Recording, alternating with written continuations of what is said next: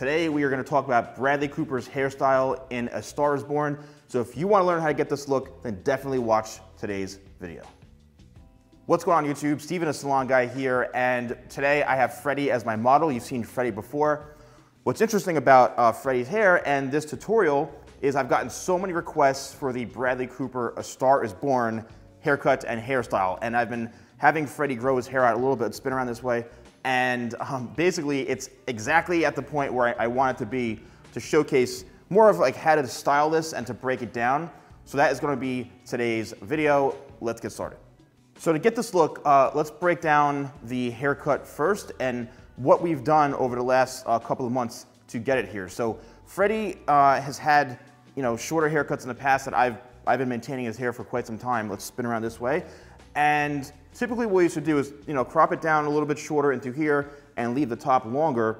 And now what we've been doing is we've been actually growing this quite a bit. So the key to getting this haircut really is to make sure that you can have this long enough to kind of tuck it behind the ear like this, which uh, Bradley has in the movie. So let's talk about the length first around the sides. And you could probably go a little bit longer, maybe one inch, the most longer um, for his hair or two inches longer. But this is pretty close to what we're, as we're gonna get for this.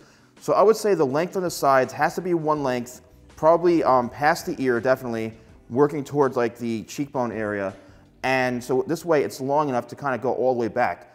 You can even have it down to say about here, this way it'll actually really go all the way back and kind of come around.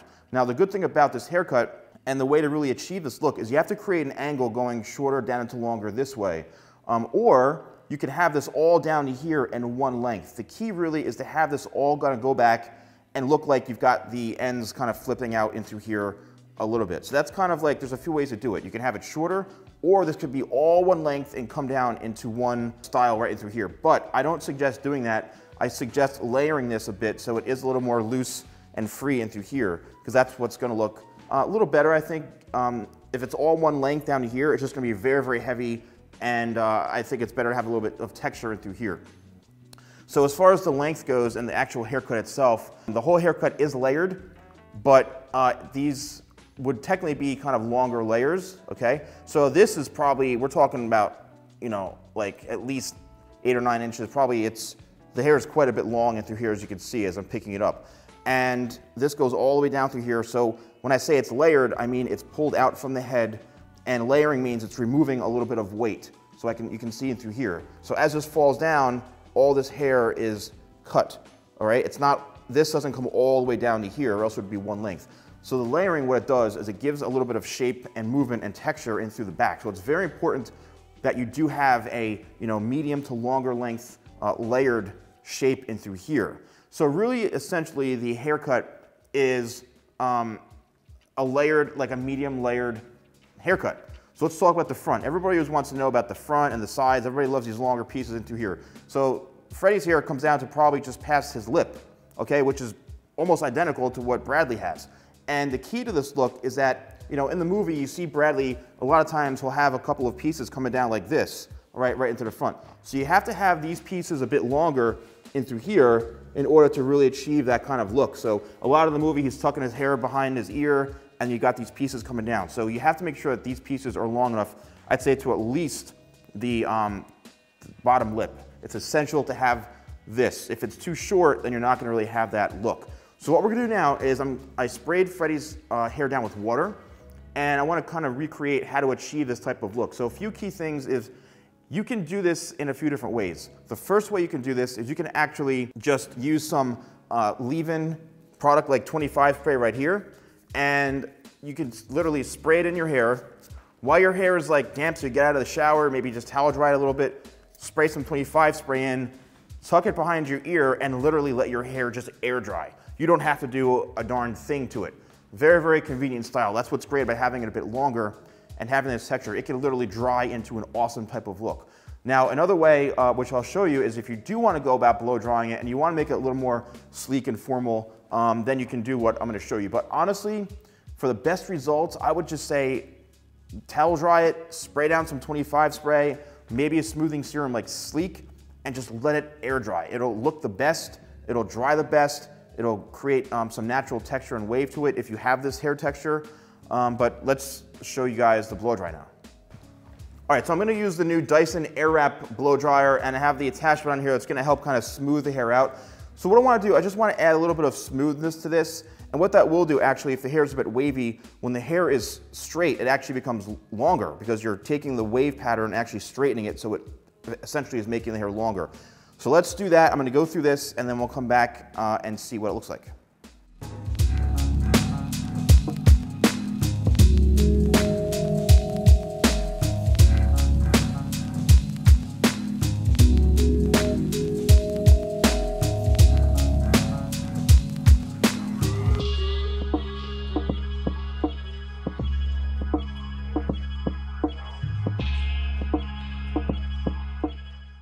All right, so as you can see, the Dyson Airwrap blow dryer, I mean, look at his hair. It's like silky smooth. Um, not that I'm trying to plug the dryer, but I've been using this dryer a lot more, and it's really, really amazing. Now, as I'm doing this, you can see in Freddie's hair these gorgeous highlights that he has. I've done them. it's a combination of me, and he has naturally blonde hair, and um, what he does being outside quite a bit, it, he, you're gonna get these natural highlights, but I have highlighted his hair in the past, um, which is what really helps create this really nice uh, dimension in through here. So now his hair is straight, and now you can see it looks much longer in through here, all right, which is awesome, which is more like how you know Bradley has it. So once you have the hair completely dry, I would say pretty silky smooth, and don't worry about if the back kind of flips up a little bit. Now it's essential to when you apply product. So what I'm gonna do now is I'm going to use my Shadow uh, Cream Pomade, which I think is gonna be ideal for him because you want something that's gonna be kind of like a leave-in conditioner or leave-in cream, something that's gonna not make the hair very stiff at all because you want the hair to be able to move a little bit. So something very light, but something very tameable as well. So let's apply it to his hair and uh, start the styling process.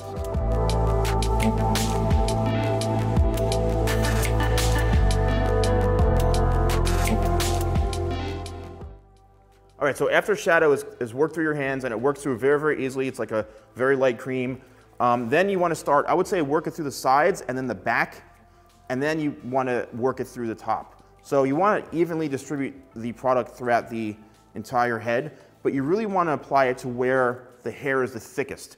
And a lot of times the hair is the thickest towards the back of the head right into here. So you want to make sure that you're really getting all this down into here because again, this look that Bradley Cooper has is more of a kind of you know, slick back, kind of a second day look almost. So as you can see, um, this product mixed with the haircut and the way that we have everything styled is pretty much forming it right into place. And if you wanna have some of these pieces that come down like this, again, very easy to do that. You can just kind of pull it down with your finger this way, you know, or, or run your fingers like this, kind of loosen up the shape a little bit, and then they're naturally gonna kind of come down like this. So it really depends on if you want those pieces, you can do it right from the start, or naturally throughout the day, you know, just from walking around or whatever you're doing, they might just kind of fall, uh, fall into place naturally. So um, I think this is a really, really awesome style. It's something that, you know, you don't see too much anymore, but if you are growing your hair out, it's a really, really good option to have. All right, guys, so here we have the finished look, and as you can see, it's pretty much identical to Bradley's hair in the movie. Um, I hope you guys enjoyed this, and uh, I'm really happy how this came out. All right, guys, thank you so much for watching. I think this came out pretty awesome, and thank you, Freddie, as always, for being a great model for me. I appreciate it. Don't forget to like, comment, and subscribe, and click the bell so you're notified of when my videos go live three times a week. Again, I'm doing a new schedule on Mondays, Fridays, and Saturdays, so I'm really excited about that. Uh, leave some comments below, and thank you guys so much for watching, and I'll see you next time for more videos with a salon guy.